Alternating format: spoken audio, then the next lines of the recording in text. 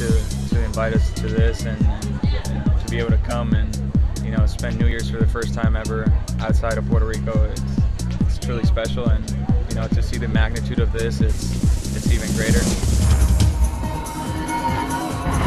I'm Darwin Zook with the MLB.com Fastcast. Enrique Hernandez's most outstanding moment on the field this past season was probably belting three homers for the Dodgers in their pennant clinching game.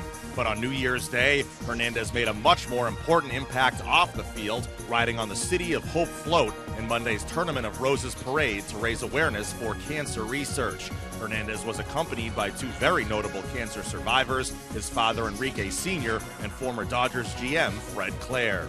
It's an incredible experience to be able to call attention to the City of Hope and Dr. Forman and seeing Kiki and watching him on television. I'm very happy to uh, be on the same float as Kiki and have that uh, Dodger representation along with so many other fine people.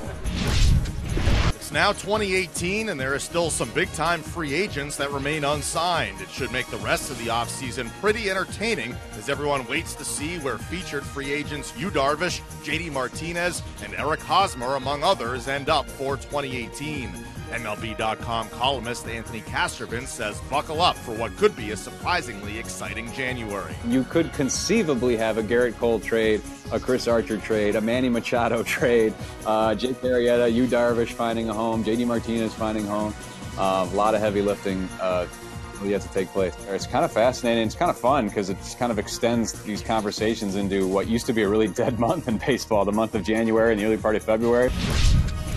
It was quite a scene New Year's Day in frigid New York as the home of the Mets, Citi Field, was transformed into a hockey arena.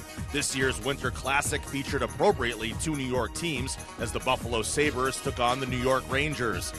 The fans braved the cold elements to watch an entertaining game as the Rangers got a goal from JT Miller in overtime to defeat the Sabres 3 2.